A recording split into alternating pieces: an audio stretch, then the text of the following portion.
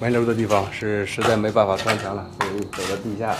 这个后期呢也会给落地空调再留一路四平方的线，以防万一啊备用线。占地面积二百四十个平方，我们两个人搞了三天半啊，加班加点的干，终于是全部完工了。接下来就要开始打扫现场，抓紧时间抹墙了。好了，今天就先拍到这儿了。